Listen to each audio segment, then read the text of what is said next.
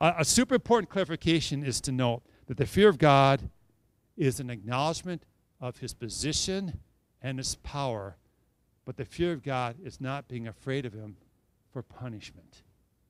That has been taken care of by Jesus Christ.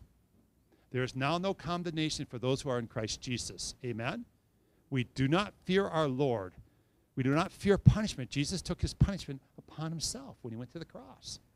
So we don't have that kind of fear.